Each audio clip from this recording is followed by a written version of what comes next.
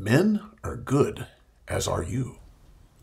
Men are indeed good, as is Janice Fiamengo, one of my favorite men's advocates. I'm telling you, I think she's a beautiful woman in a with a man's mind. Anyway, um, we are here today very excitedly with Rick Bradford. Now, Rick, for those of you who don't know, wrote a book called The Empathy Gap. It is an amazing book, just filled with fascinating information. And he wrote it under the pen name of William Collins. But today we're going to be talking to the real Rick Bradford about all kinds of things. And Rick gave a, um, a presentation at the last ICMI on moral usurpation. And it's a fascinating presentation. We were going to try and talk a little bit about it today. And I've learned so much from this presentation and from the empathy gap that I'm just excited to have Rick here with us. Anyway, Rick, one of the things you started off with was you talked about um, how did you put it? That the are the feminists the useful idiots of the globalists, or are the globalists the useful idiots of the feminists? I thought that was a fascinating way to start. Can you tell us a little bit about that? Yeah, yeah. That, I mean, that was um, that was that was one of the motivations um, for this whole line of thinking. In fact, I had actually planned a talk on moral usurpation for the previous year's ICMI in 2020, but I, I, pulled it at the last moment because I thought it might be a step too far, you know. So I, I swapped it for a more traditional sort of uh, empathy gap type talk mm. that year. Mm. But I thought I'd go for it um, in the last one, last November, uh, December, December rather.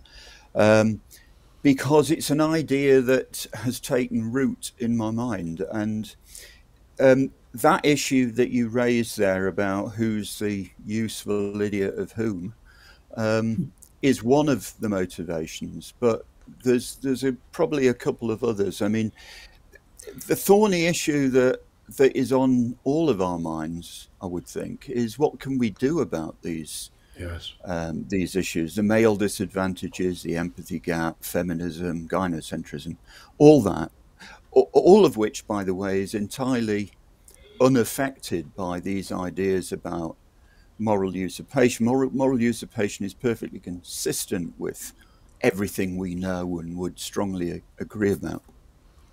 But what what are we going to do about it? And um, in order to, well, if I can put it this way, in order to correctly um, prescribe a treatment for a disease, you've first of all got to diagnose the disease correctly. Now, yes.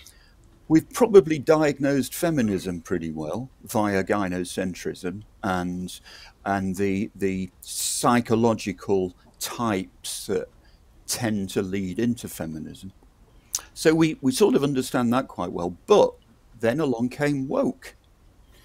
And uh, the, it's, it's, as if the, the primary tumor has metastasized, you know, mm. feminism has now given birth. And I think I can blame feminism largely for woke, yeah. even even though mm. um, the turfs and the the trans the trans lobby don't get on very well.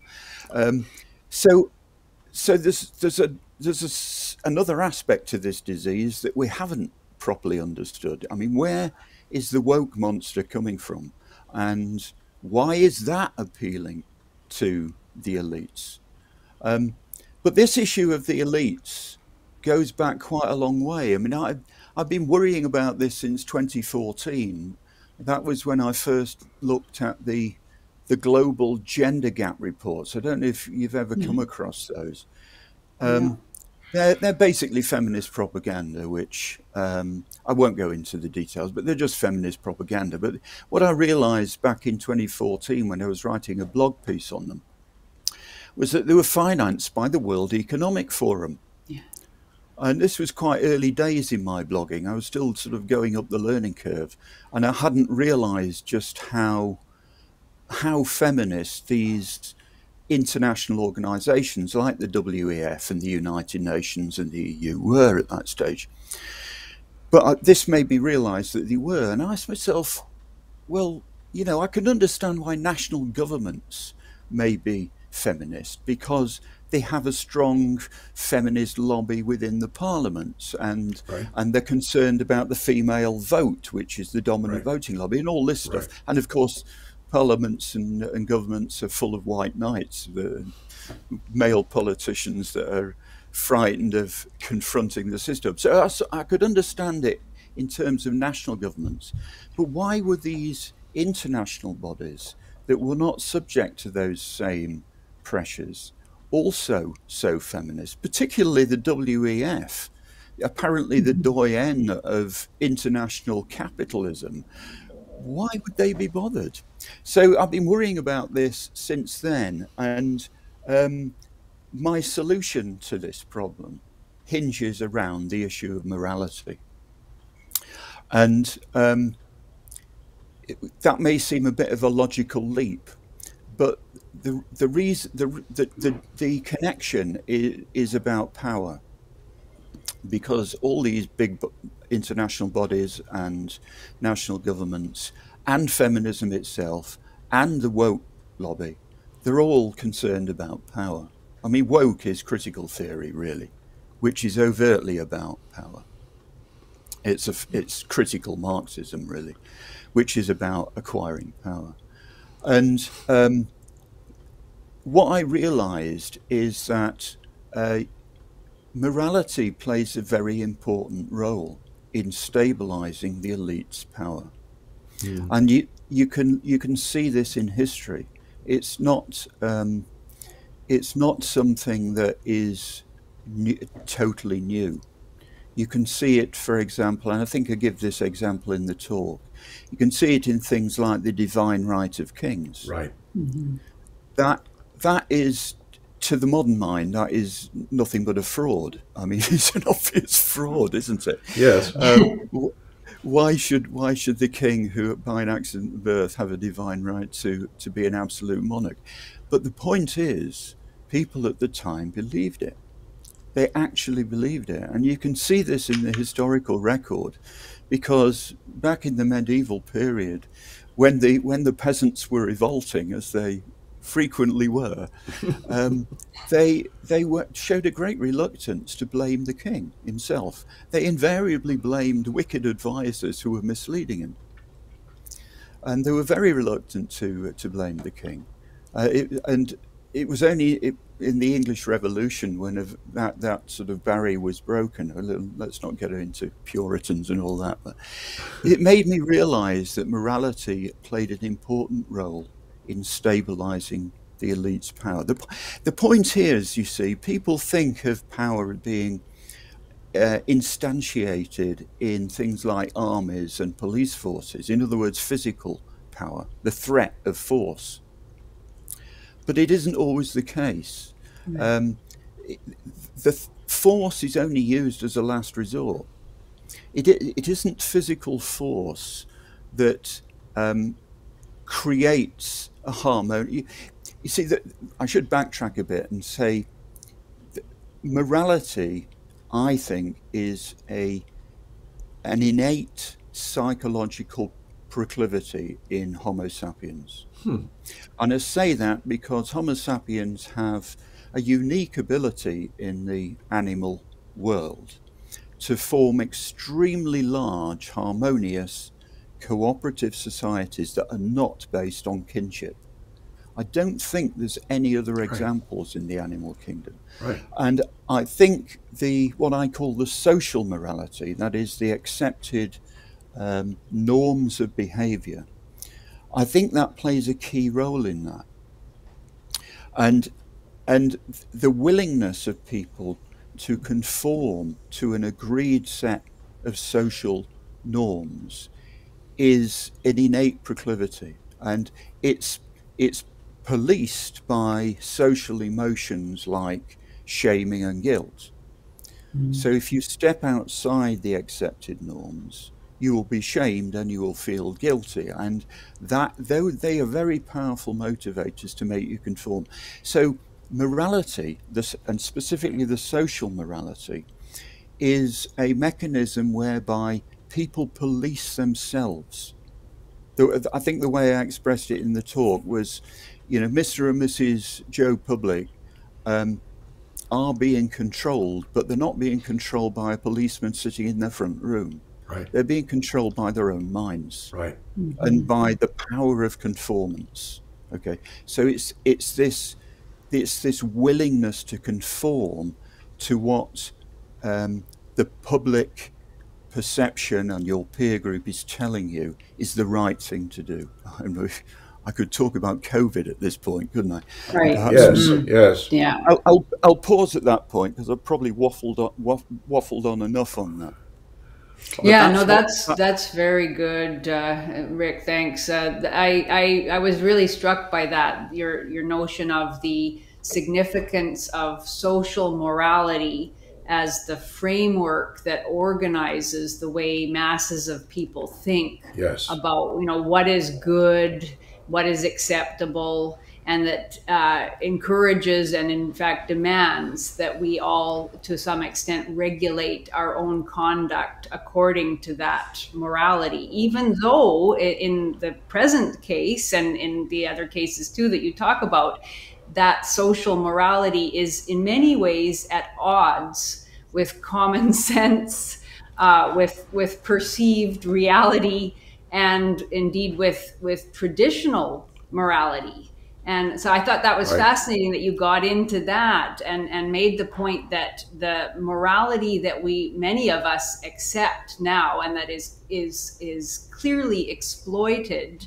by these various powerful elites both in government and you know in other groups in society that morality is not one that is necessarily shared by many other groups in society and it's certainly not what we would consider traditional morality and yet it has this very powerful force to organize assent and I wonder if you could talk a little bit about the the distinction you make between what we would consider sort of um, natural morality um, and and this social morality as it pertains particularly to uh, progressivism, wokeism, and feminism. And I agree with you, by the way, that that that wokeism or progressivism, whatever you want to call it, it does come directly from feminism Yes. and it's there if you look at academic feminism which i've been doing for a few years and now i'm doing more intensively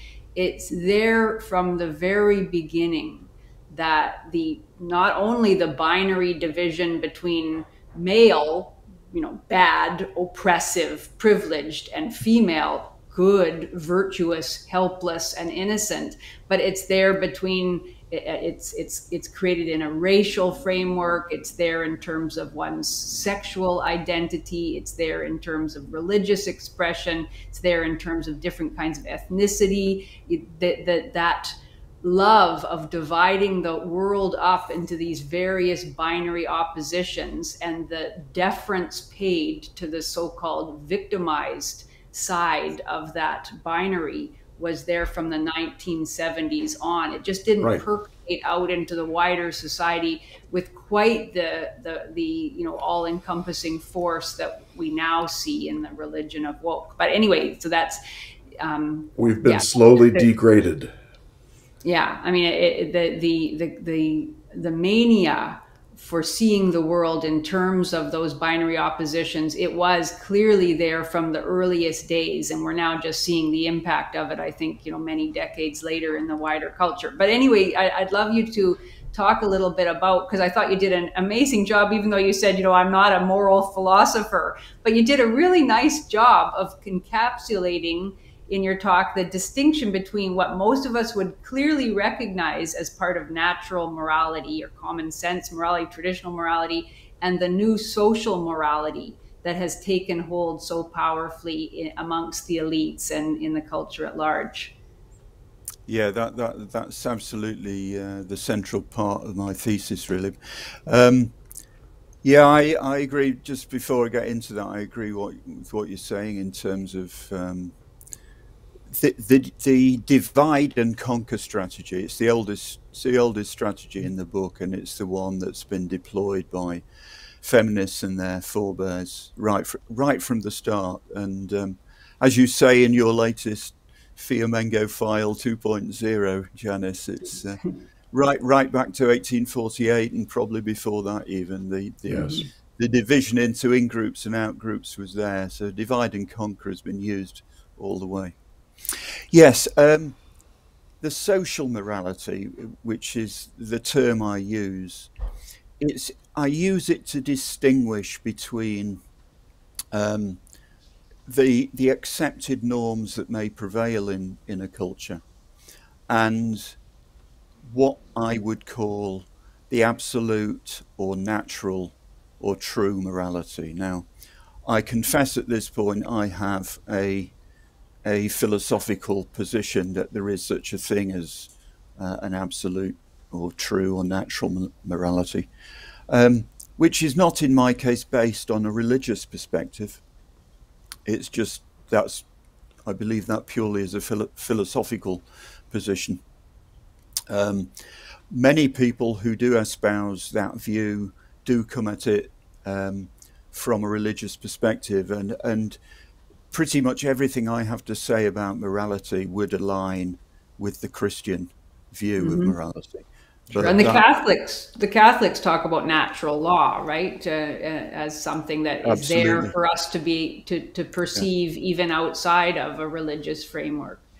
Yeah, that's right. And like like the religious axis, and particularly the Catholic axis, um, my my view of morality is it's deontological, not consequential. If we want to get into heavy duty moral philosophizing, in other words, um, moral principles originate from some transcendent origin, hmm. um, rather than from um, an analysis of consequences.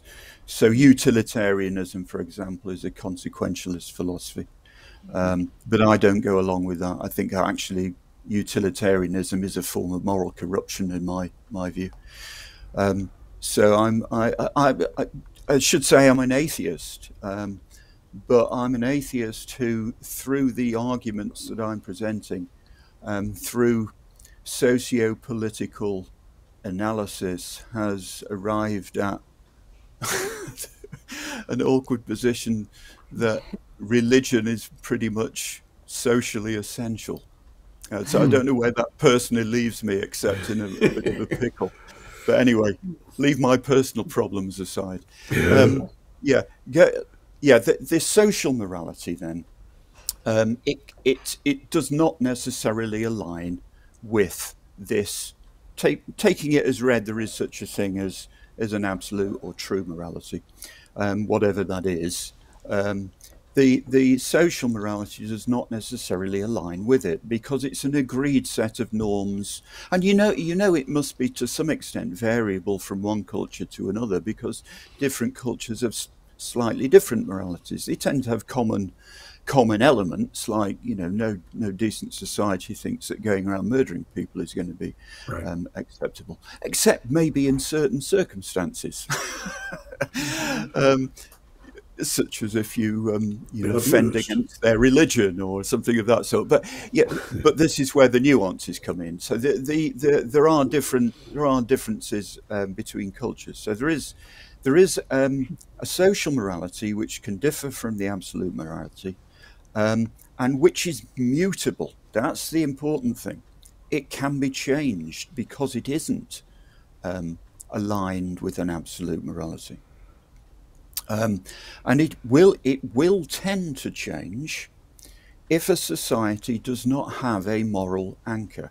And this is this is what I was alluded to in terms of the the benefits of having a religion and one dominant religion across an entire nation because the religion will then invariably act as a moral anchor.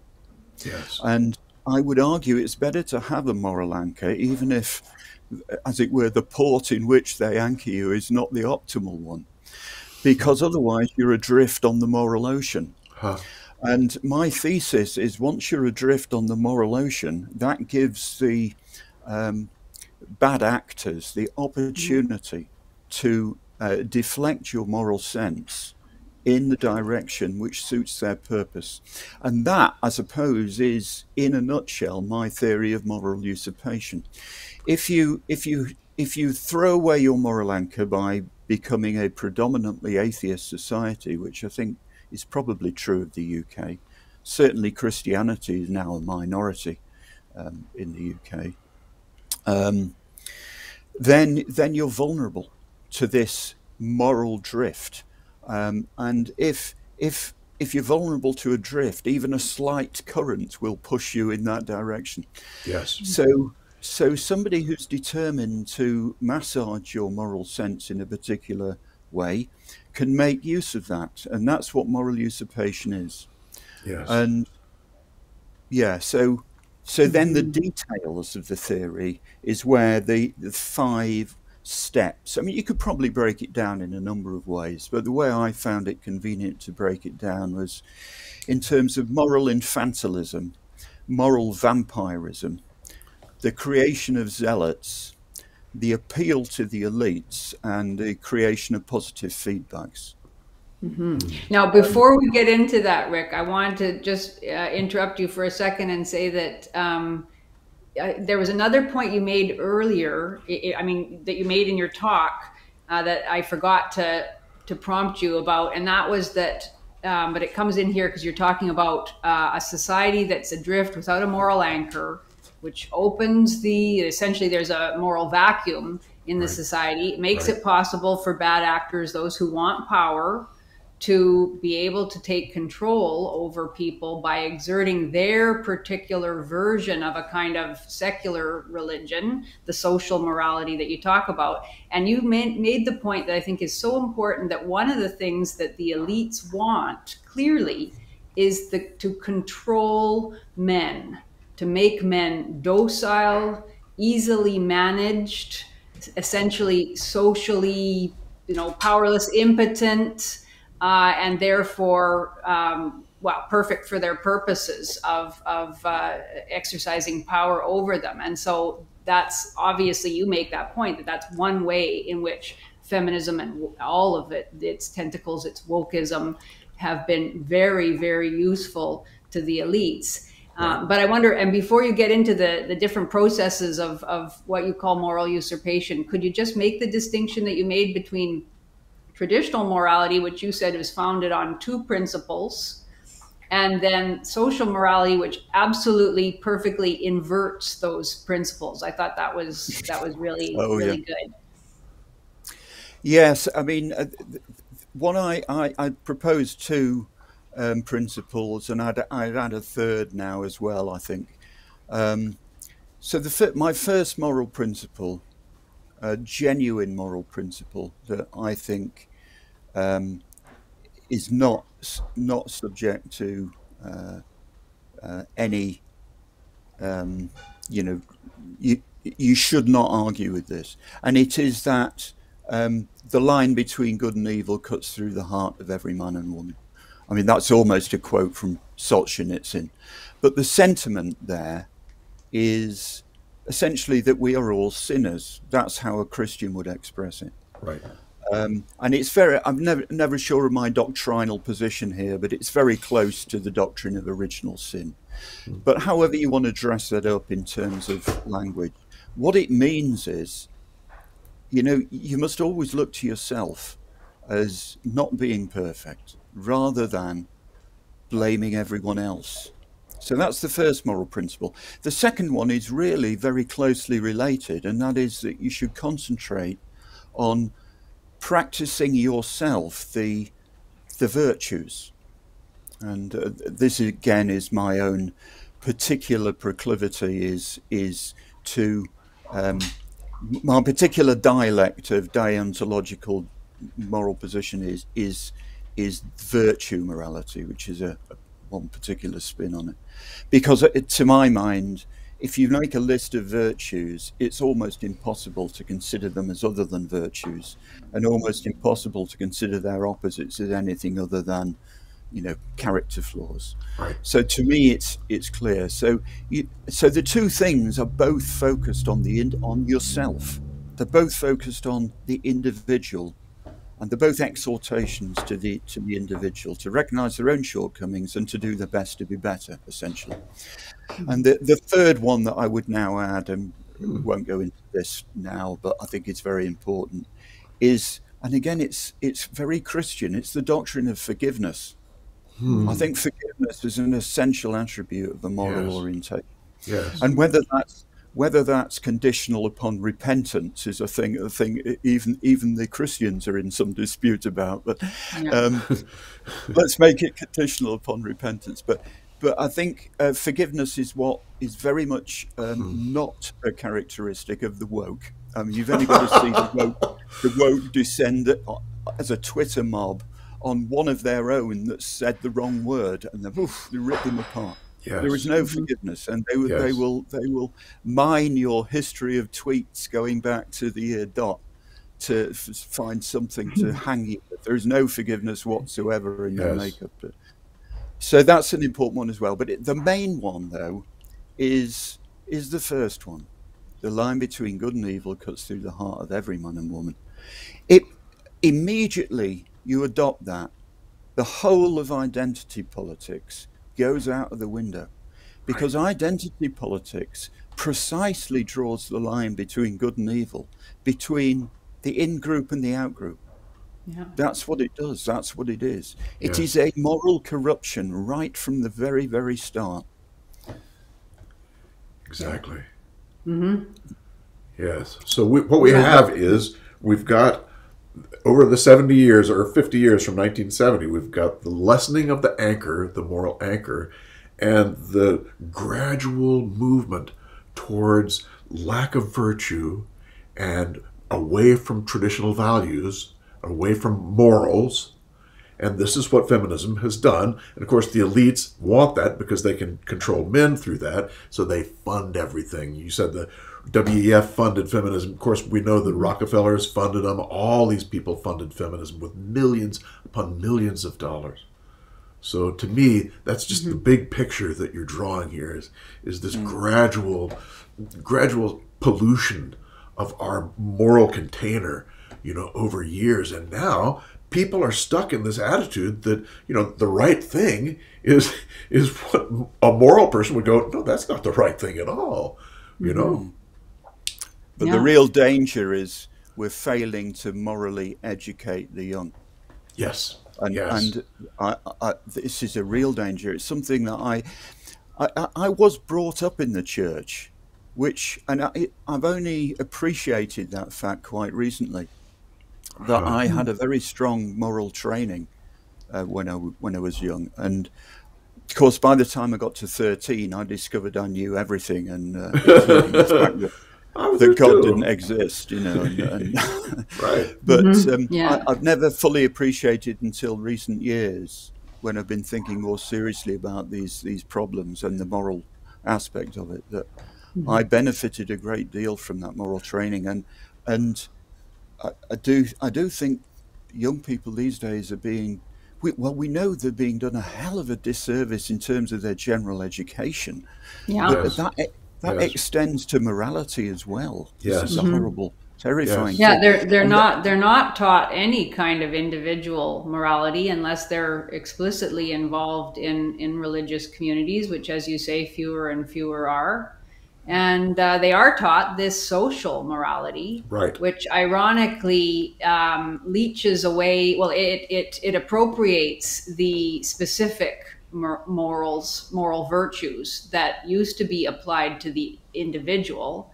And it says, yes, we need empathy, we need uh, strong moral conscience, we need concern for the poor, uh, we need generosity. Um, we need compassion, it, but it, it applies those only at the social level and it says that in order to create that society that would embody all of those moral virtues, individuals can absolutely dispense with them in their own personal conduct and actually should, especially if they belong to one of the in groups, the oppressed groups, the groups right. that things are owed to, right. uh, then they can they don't need to, to practice any of those virtues until this perfect society comes into being. Uh, they can actually manifest all of the very worst sins. But uh, yes. and because that perfect community will never come into being. Uh, they're essentially given a pass on virtue for their entire lives, whereas other people who fall into the oppress oppressor categories uh, must constantly, um, you know, pay for their sins on uh, a, a society-wide scale by giving up everything and and uh, you know renouncing their their right to any kind of fair or decent treatment. Uh, so it is really uh, quite a terrifying quite a terrifying vision of human relations that is yes. being taught to young people and manifested in the culture at large as you say if if you look at twitter and see that as a microcosm of the woke society it is really a very vicious and bloodthirsty kind of culture yes yeah, I mean that, that's absolutely right. I mean, it, it's absolutely gobsmacking to me that this this woke um, mindset is preaching that the content of your character doesn't matter. I mean, it's di- directly contrary right. to Martin Luther King. Right. And as as we know, you know what what what um, was then, con- you know, what he would have considered racism is is has been inverted into the opposite. And yes, uh, it, it, it's it, and and it's because you know they don't recognize the content of the character as being important. Everything is about exactly. superficialities and, and, and group membership, and it, yeah. that's so morally corrosive. It's yes. unbelievable. Yes, to say it doesn't. And uh, but this is why it's so appealing to some people. Yes, you give you give them carte blanche to mm-hmm. be as sure. irresponsible as you wish. Yeah, and I thought one of the most incredible. powerful parts of your presentation was when you said, "Okay, I'm going to list out some qualities here. Tell me if you think a woke person has any of these." Mm-hmm. And you listed like 20 different qualities. It was like modesty, charity, compassion, empathy, sincerity, sympathy, spirituality, tolerance, fairness, and on, on, on. Each one, I had to shake my head and say, "No." no, no, until the end of the list. It was amazing. These people have no sense of virtue, you mm-hmm. know? It's well, because they there. have, in, instead, they have, as as you also said, Rick, in the presentation, it, they have this delicious, absolutely exhilarating and seductive sense that they are owed, and they are owed you know, with all the weight of generations and generations of oppression, which somehow settles on their shoulders. And so they, they, you know, the, the, the cultivation of their anger, their sense of betrayal, their resentment above all, and their sense that they are entitled to exact vengeance, really, and to get their compensation right? Uh, no know, forgiveness. It, it's it no absolutely no no forgiveness at right. all. Simply right. compensation without end, to which yep. they uh, they owe nothing in return whatsoever. No charity. Uh, it, it's a very very um, very satisfying, deeply pleasurable kind of position to occupy. And so it's not surprising that many people want a piece of that moral pie. Yeah, I mean, it, the whole thing appeals to the the shadow side of the human side. Exactly. It's, it's all coming from there. Exactly. It, it, it, gives them free reign to exercise the the darkest aspects of character. I mean, resentment is the key the key word there. Yes. And mm-hmm. and uh, yeah, yeah. Yeah. Yeah. So, so, so this brings us to to moral usurpation. This is the key dynamic that you identify as operating in the feminist project and you know all of its right. uh, offspring. Uh, so yeah, maybe you I mean, could. It, it's it's much wider than feminism. It sort of embraces the whole the whole caboodle. Uh, um, yes. And um, I've listed out a number of number of examples that we might not get there, but it would include COVID 19 and climate change. I mean, it's, ju- it's just as applicable to those right. as, um, as anything else. I mean, if you're talking about moral coercion, COVID 19 has got to be the, a preeminent example. so, yeah, the, the, the, five, the five strands then Uh, let's start with the moral infantilism because that's that's probably the most important bit. Um, you have to start with something which is a genuine moral position. There has to be a genuine moral core. You don't make things up out of whole cloth. So if you take something like violence against women and girls, there's a genuine moral core there because, you know, yes. violence against women and girls happens and it's bad, you know. Right. There you go. Right. Um, so you're going to argue with that, then obviously you're in favour of violence against women and girls. So you're a nasty person. Bad person. And that that is that, you know, stupidly in, infantile way of presenting it is actually what they do. They present it in that infantile ways. There is only one view of it. Yes. And all nuance, all context, all counter arguments, all balance, all relevant empirical facts are nowhere right. compared to you know violence against women and girls is bad and they just keep hammering that away and you have to agree 100% with that narrative otherwise you're 100% bad you can't differ by even one tiny bit right. right. and and that immediately creates in groups and out groups just by that process, which yes. is part of the the point yes. to create in groups and out groups yes. because it's a divide and conquer strategy ultimately. Exactly. But it's a divide and conquer strategy with their side, the moral usurpers side, defined as being on the moral right. Correct. And that's that's the process they use with everything. Yes. So that's the first bit is the moral infantilism, and it's the key bit. Um, and of course, it helps if you have a generation of not very well morally educated young people that, right. are going to fall for it. Right. Um, and you keep key facts from them, of course. I mean, part of the issue here is managing information so that uh, the capture of the media and the capture of the educational establishments are key to making this work. Yes. Because then you can feed them with the infantilized line and make sure the, that the other stories are kept away from them. Correct. And if if other stories are in danger of getting to their ears, then you just have to say, "Oh, that's just these men's rights activists that are all a bunch of misogynists." That's it. So that's the infantilism. Um, the moral vampirism is the overarching um, strategy to capture every peak in the moral landscape. So the vampirism is you want to infantilize everything that can act as a source of moral succor. Everything.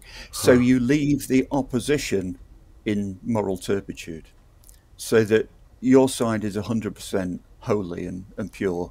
Right. And the opposition ha- hasn't got any legitimacy at all, yes. and it's what it's what ended up with the Conservative Party um, in the UK. The the leader of the party Theresa May at the time actually referred to her own party as the nasty party because that's the image that had been managed to convey. And that's, that's what it does.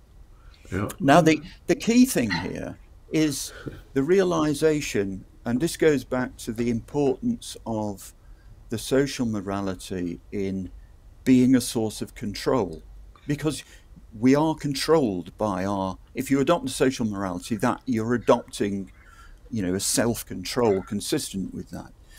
So that means that if the elites can control what the social morality is then they're controlling you. Yes. Mm-hmm. so so it acts as a sort the, the social morality acts as a source of power. That's the point. Exactly. and this is why i don't know if have you read um, um, Douglas Murray's book, the uh, the Madness of Crowds. Mm-hmm. Yeah. In it, he he refers to the the fact that is very familiar to us that um, feminists will say, "Oh well, women have come a long way, but we've got a long way still to go." Right. and um, you, you see this phenomenon in all the all the sort of equality movements.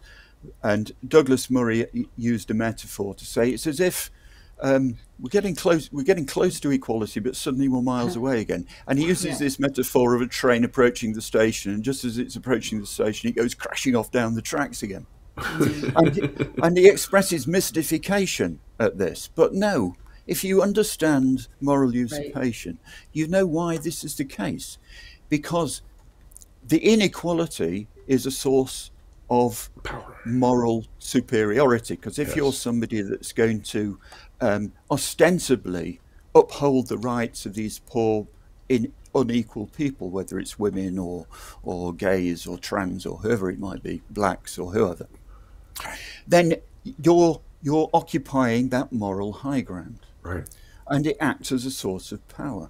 So the last thing you want is for equality to be achieved. This is why equality will never be achieved. Right. They must always claim it's not been achieved because to say it's been achieved robs them of their power. Right. Mm-hmm. Exactly. And I liken it to a battery. Inequality and morality generally is is like having a fully charged battery. if you achieve equality, your battery's gone dead. so true. Oh, yeah. God. Yeah, that and that is it's that's so important to understand because I think we do waste a lot of time sort of being frustrated at the moving of the goalposts and being frustrated at the fact that we now have in universities, for example, about 60% of female participation. In some universities, actually much higher than that.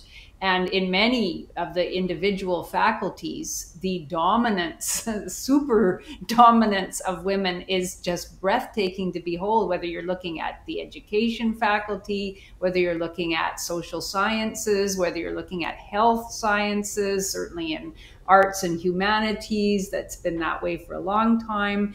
Only in these few very small disciplines, engineering, and uh, some of the hard sciences do we still have um, men predominating in those in those uh, disciplines? And yet we still hear that much more must be done for women in these few uh, disciplines. And um, you know it, it, it just yeah it, it's you begin to feel crazy um, because the narrative is so obviously at odds with reality uh, yet, when, once one realizes the whole point is to maintain the position of moral superiority, then it all makes perfect sense. And uh, yeah, I think that's a that's just a, a really good point, a really good way of explaining it. Mm. Just just to follow up on that that tangent about universities and subjects, it's something that I blog on regularly. I, I look at the um, the entrance figures every year and did you know that in the UK, women dominate as undergraduates in STEM? Spelt with mm. two M's, S T E W. Two M's, right. So mm-hmm. science, technology, engineering, maths, and, and medicine and, me- and subjects medicine. to measure. Yeah. Huh. And they've dominated now for about five years with increasing percentage difference. Mm-hmm. Uh, yeah. It's, it's, it, men only dominate. Uh, actually, women dominate in the pure sciences now. If as hmm. long as you include psychology as a science, then women dominate in the in the sciences. So men only now dominate in the UK in technology, engineering, and maths and architecture. Huh. That's all. About that. Yeah. And the, and the yeah. extent to which women dominate in many subjects is, is staggering. So staggering, I, I, yeah. even people that read my blog regularly say, "Have you got that right?" Yeah, sorry, yeah, it's like eighty percent uh, it's incredible. Yeah, In education, incredible. there's six times more women than men. Mm-hmm. Six times more. In yeah. veterinary science, there's four times more women than men. Yeah. Did and all, the, all, these all these female vets want to do small small animal veterinary, mm-hmm. in, you know, in yeah. other words, pets. They don't want to go sticking their arms up the rear end of cows, you know. yeah. Indeed. Mm-hmm. Did so, we want to sorry, talk a little I've, bit? I've lowered the tone now. Sorry. That's all right. Did we want to talk a little bit about what people can do to fight this? Or if you finished yeah, with yeah, the, yeah. you didn't finish with the five. Oh well, there's plenty well, to go at in terms of. Um, I've got got through the first two of five steps. I think. I think. Yeah, I think if we we can take the creation of zealots as read, can't we? Especially in, yeah. in uh, feminism. But the, the the appeal to the elites is really important. That's yes. the important one. Yes. That is, I mean, we've advertised the title is What Connects Feminism to the Global Elite, so I best address that one. Yes. Um, the the um, and I can go rather beyond what I said on in the talk, but what I said in the talk, and certainly part of it, is the appeal of the moral usurpation process to the elites is that it it it it um, gives them a way of atoning for their privileged status and hiding their privileged status behind this smokescreen of right speak, because they've moral usurpation have, crea- have, created this system whereby, in order to be thought of as a lovely person, you've just got to say the right words. Mm-hmm. Because you don't have to do anything difficult like practicing virtues. you just have to so use true. the right words. Oh, That's and that is literally all. And if you do that, even the most privileged person can present themselves as not only not privileged, but even a, acquire a mantle of victimhood. You even get close heirs to the British throne playing at this bloody game. Yeah. I mean, you know, when a prince of the realm can come over as, you know, victimized, I mean, yeah. that's how powerful it is. But, yeah. but the, it, yeah. it, explains something. Another another thing that puzzled me, not only things like the WEF, but why is the woke thing so successful in the most elite institutions because mm-hmm. it's the Ivy League, it's the Oxford and Cambridge, it's Eton and Harrow. It's why why are these these you know the the the pinnacle of educational privilege? Why is it so strong? That well, it's precisely that because they have more privilege to distract your attention from.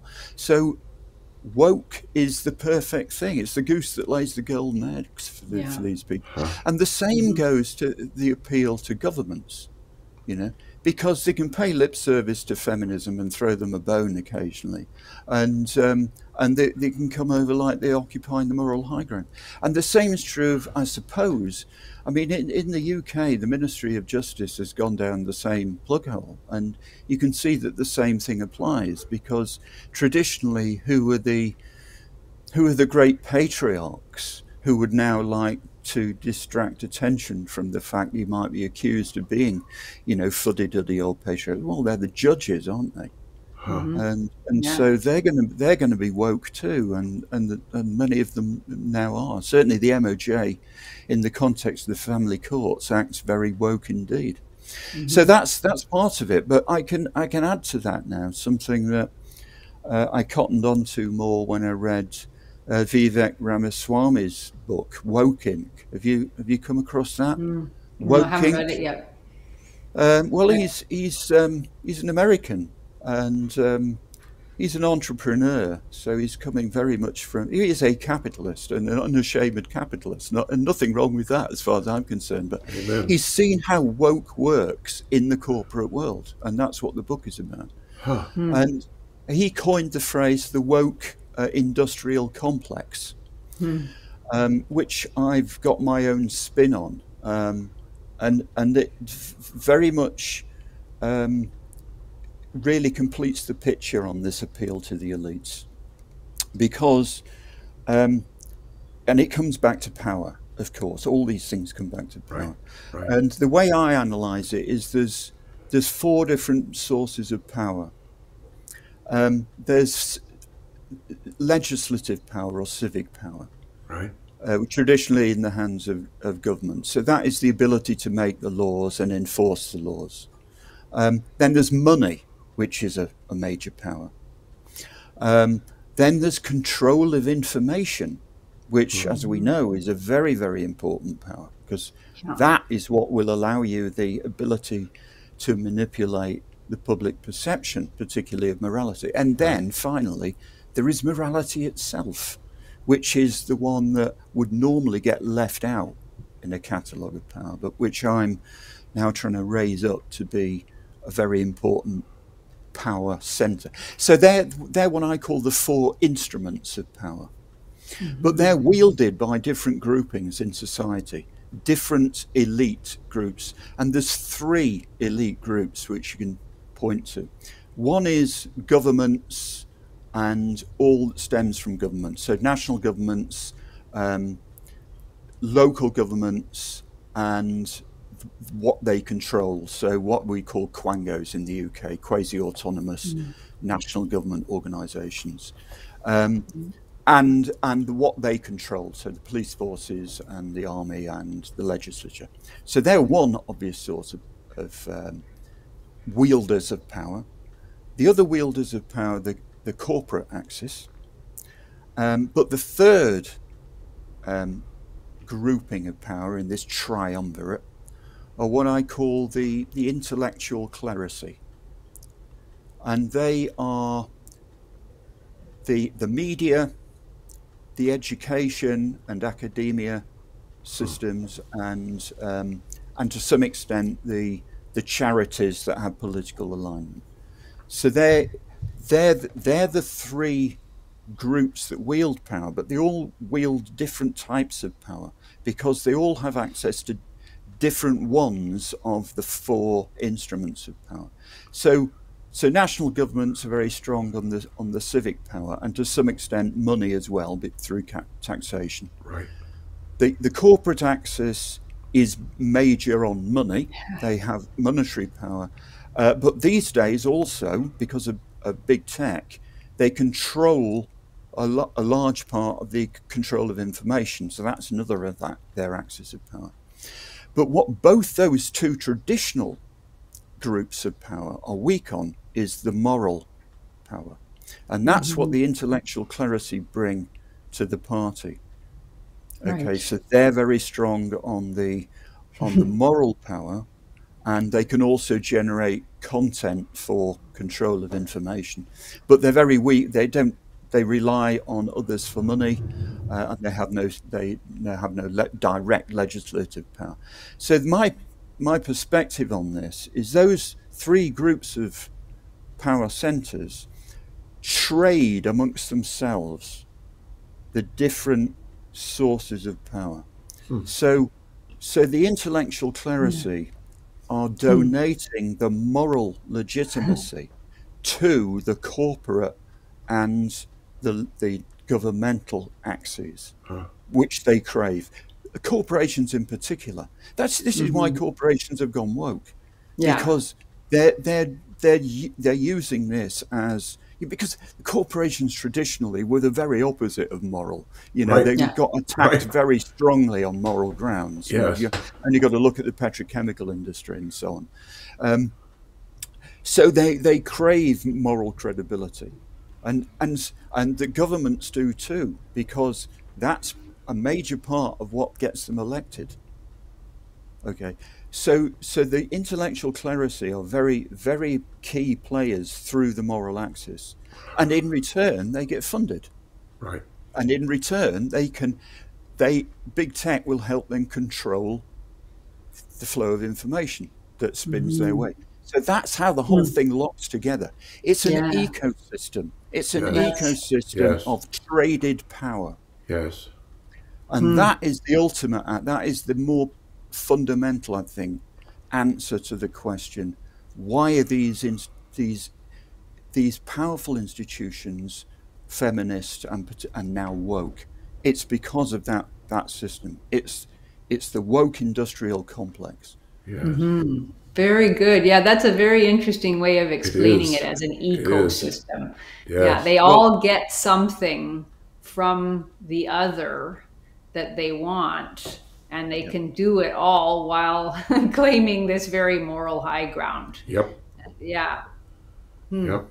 And, and yeah. so it all locks together. All the elites then are in it together, and they're mutually self-supporting. And meanwhile, the people who they ostensibly promote through their their moral, you know, posturing on inequalities are not really helped at all. Right. And so right. we know feminism doesn't really help women. I mean, it, uh, and it certainly doesn't help the working class. The working class are the ones that are getting trashed. What this really is, simply put, is the latest ruse that the elites have for maintaining their control. Because yeah. the elites have always had a problem because poor old elites, there's not many of them. So how are they going to control the vast bulk of the masses when it's so transparently bloody obvious to the masses that it's to their disadvantage to be controlled. And this is how it's done. And through the ages, you know, whether it's the divine right of kings or whether it's the moral principle that you should know your place and not step outside it, which that, that was a moral principle as well at one time. Yes. Yes. Mm-hmm. Now we've got this system, and it's it's the latest variation on how the elites are keeping the rest of us down so that they can profit themselves. And mm-hmm. because of that, because of that, the natural enemy of this whole process is the working class because they're the ones that always cop for it in the end. Mm-hmm. Yes. And the working Yeah. class, whether whether it's men or women, whether it's blacks or white, whether it's you know transsexuals or or gays or whoever, it doesn't make any difference. If you're not part of that elite axis, then they're using it against you, matey. Yes. Mm-hmm. Yeah, and they're the using truth? it by dividing people up and thinking that their real enemies are their racial enemies or their gendered enemies or whatever it happens to be, when Yep. actually the people who are controlling them and lessening their life possibilities or at least lessening their ability to make decisions for themselves and to recognize who their real allies are are these these elites. Exactly. I mean it's yeah it's you know as you explain it, it that's i think a really powerful way of analyzing what has gone on and how brilliant it has been as a power move by the elites over the past 30 years or 40 years. Yes. Yeah, I mean, how, whether it's been brilliant or whether it's just naturally evolved is a moot point. I mean, there, there will be some movers and shakers who have thought the way through this, and the um, the critical theorists are probably amongst th- those people that have thought the way through it, genuinely thought the way through it. Um, but um, th- th- what it really comes down to, I think, um, and I use the analogy of weeds in my garden, I think, in the talk, don't I? That the, the Yes. only thing you need for weeds to thrive is fertile ground and, and lack of lack of doing any weeding to stop them yourself. right Yes. And that, that's really where where we are. If you have a an um, an opportunity for people to profit whilst looking good and having very little chance of being made to look bad, then Yeah. they're going to avail themselves of that opportunity. Yes. And Yeah. um, that's that's that's a large, that's probably the large part of it. It's it's it's evolved through the natural process of people falling victim to their own selfishness, and the fact that they trash genuine morality only helps in that process as well. Indeed. definitely yeah well So- it, but and that in that sense it is well i don't know if it's brilliant but it's it's it's more insidious even than weeds because the the you know the the most uh, hardy weed still cannot prevent itself from being plucked up. I mean it can regrow but, but you know a, a, a dedicated gardener can go at the weeds and make a difference. Where it seemed like with this I don't know that it's like something um, I don't know just something almost inevitable at, at both at the time and when one looks back at it it's so difficult to intervene against it and I've watched people attempt to do so and been destroyed Yes. and you know and you know even groups groups that had a, a great deal of understanding of what they were battling and had solidarity amongst themselves and yet they get somehow marginalized or they're attacked so thoroughly and so relentlessly that they become demoralized. Like it is so difficult to go against this thing. And it was from the very beginning you know from the start in the 1970s uh, well wherever we want to start it, it was, even if we go back to 1848 there was resistance certainly to the feminist project.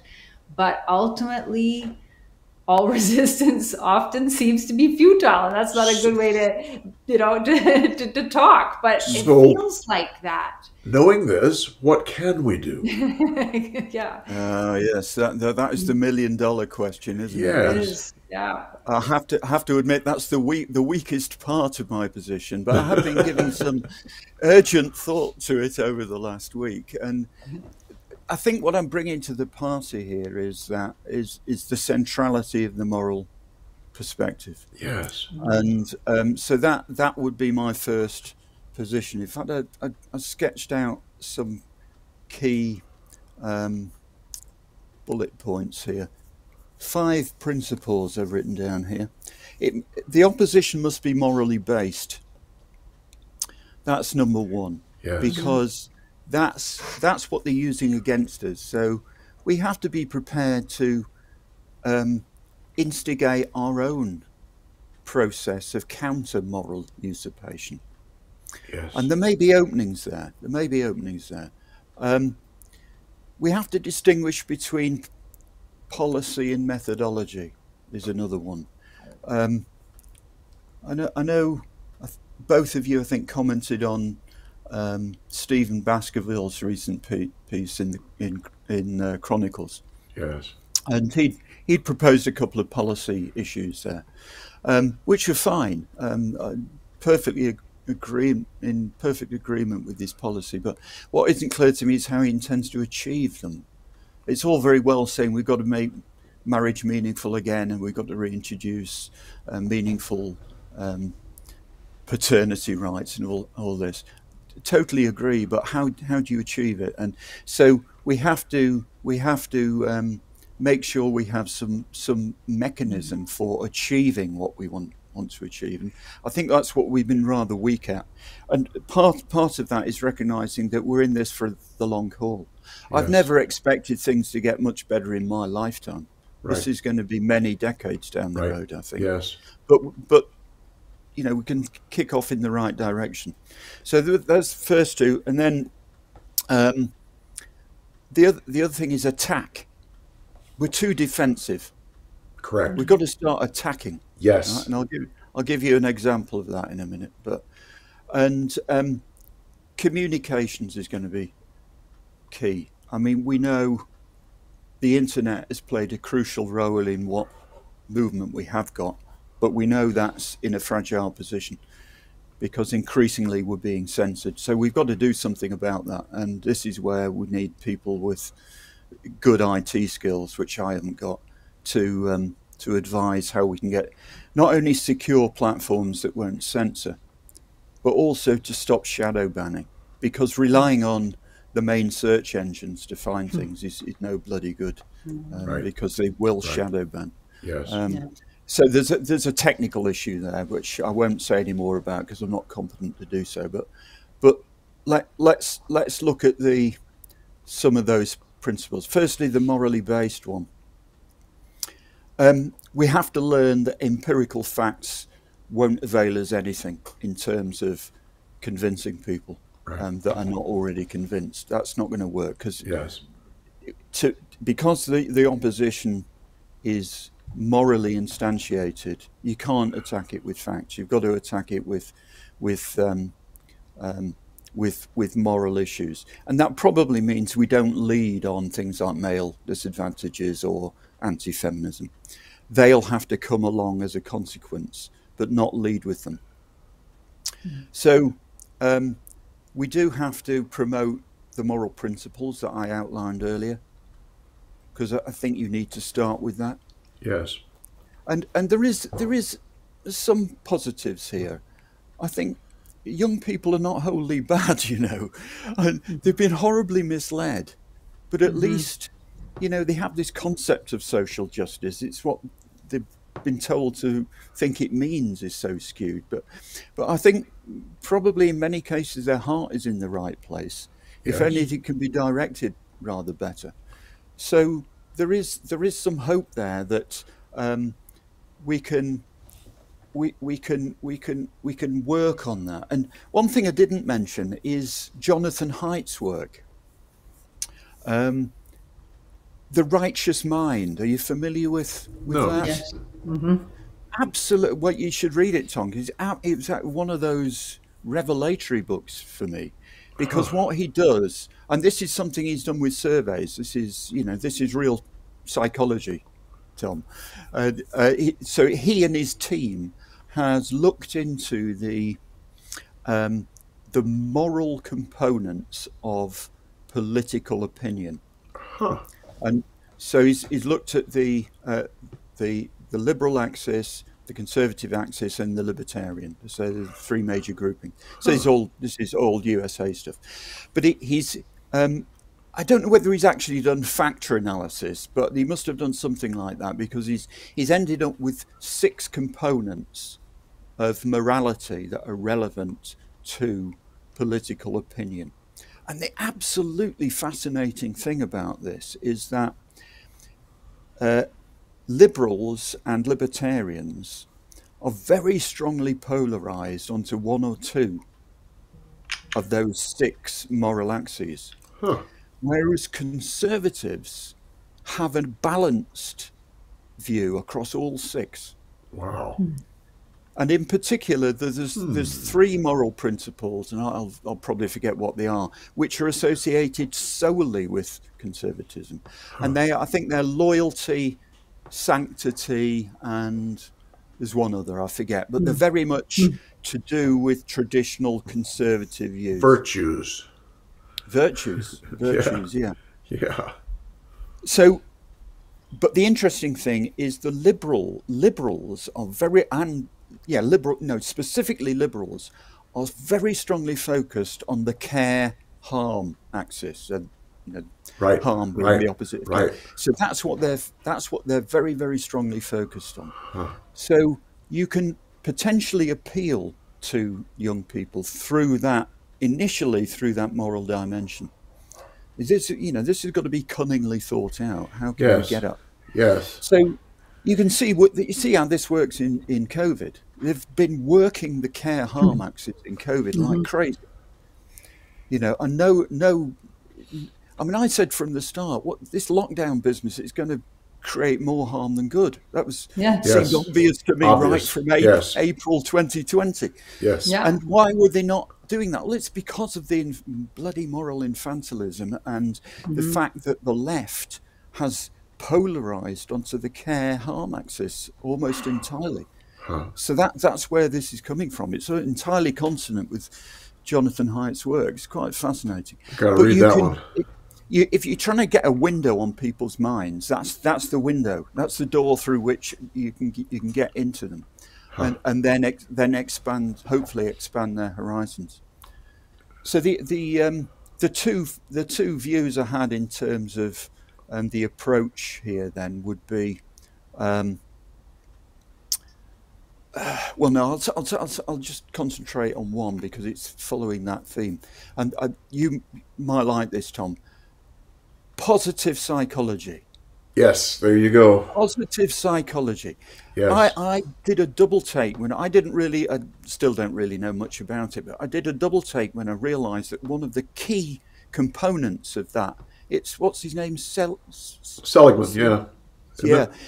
What one of his key issues in positive psychology is practice of the virtues. The Really? virtues. Yes, yeah, I've I listed did not them know out. that. I've listed them out. This is comes from a positive psychology site. And, uh, da, da, How about that? Yeah, he says positive psychology, the organization of the six virtues into 24 strengths as follows.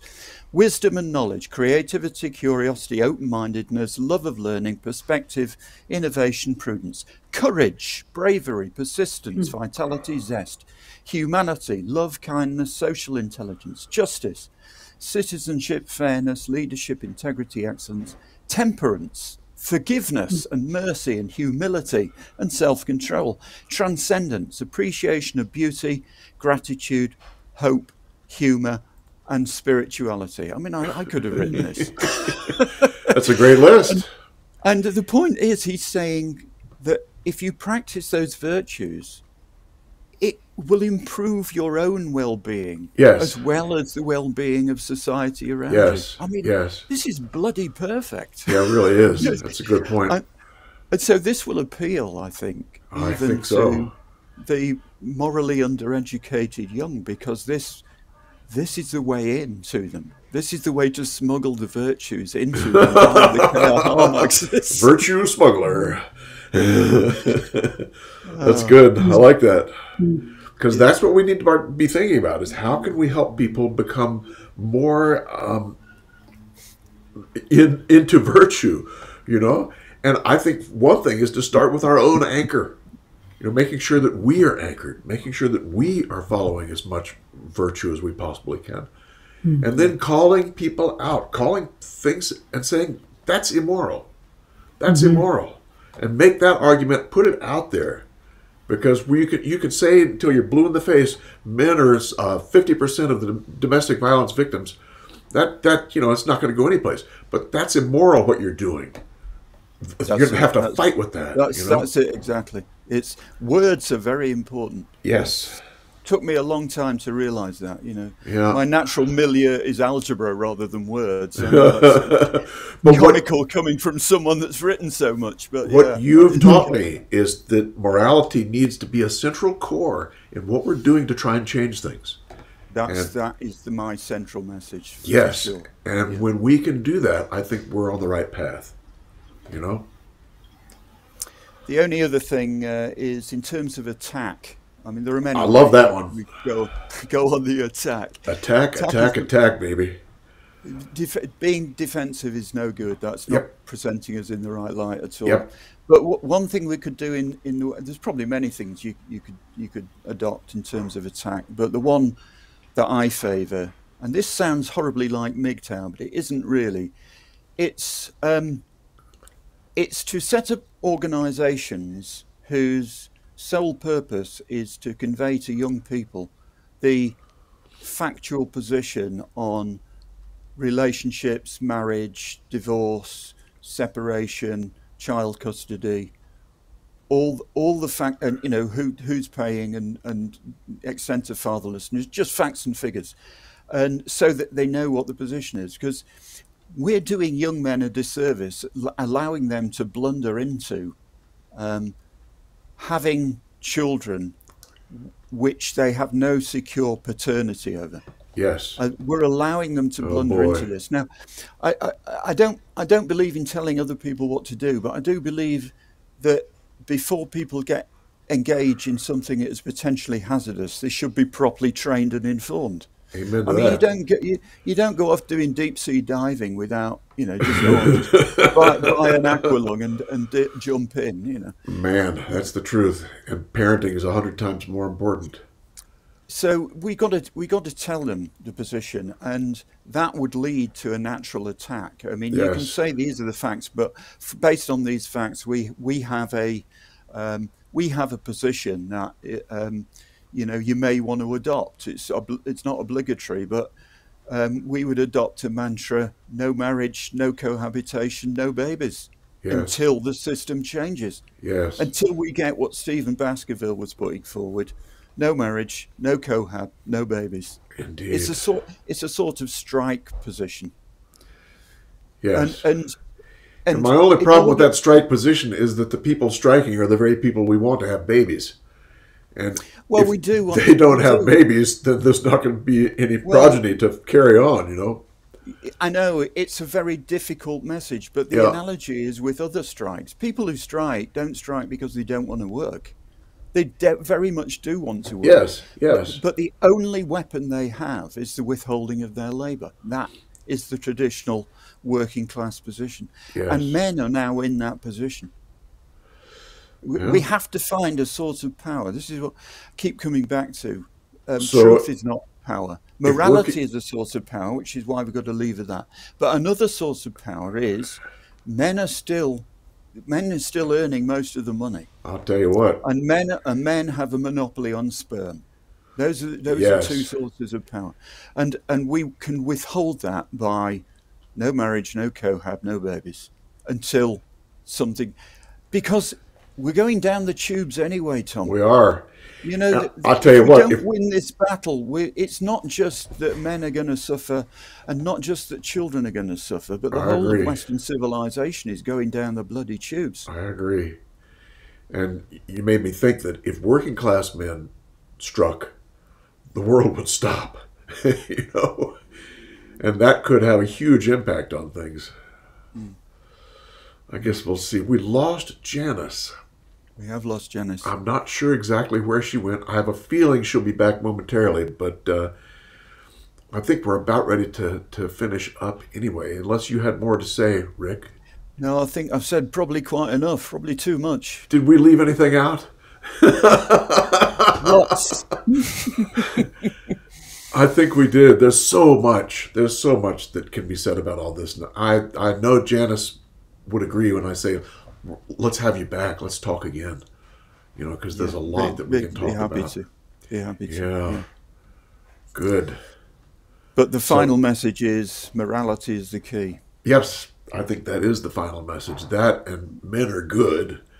And also, we're going to leave Rick's uh, a link to his book in the description below. Also, a link to his blog, um, which is an excellent read. You need to go and, and check out his blog. And anything else we need to link you for, Rick? Only, only that the um, the empathy gap, the book is is now out um, as an ebook. oh, really? Oh yes, oh yes, Oh. it's now an ebook. You mean- it's available from Amazon. You mean Yeah, I can I put this? I can put this aside. you, you can you can't you can't prop up the wobbly chair leg with with an. It's a hefty book. That's the only thing wrong with it. It's it's a but very it is a price. mint. It's a great It's a very reasonable price. I think it's probably about six dollars or something. Oh man, that's that's. Uh, we'll leave a link for that too. But I tell you what, I've found that I like the paperbacks more than the the ebooks. But uh, who knows? Yeah, Your me too. mileage may vary. Indeed. So, thank you very much, Rick, for your It's wisdom it's today. been a been a delight. Been a it delight. has been a delight, Keep and, up the uh, good work. and you uh, too, I do- boss. I, I do like your your strap line. Men are good. I think it's excellent. yeah, I hope that's an attack. Men are good and and men are moral. Men are good. Men are moral. We'll have to add that one in. That's a good thing. All right. So you all take care, and uh, we'll see you next time, Rick. We'll do. Men are good, as are you.